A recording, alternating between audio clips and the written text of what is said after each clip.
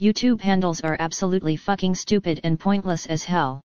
I am going to give you reasons why I hate this feature. 1. This feature copied Instagram, TikTok, and Twitter. 2. YouTube leaked their own email address in that update. 3. It keeps replacing our usernames in the comment section, YouTube videos, and even community posts. 4.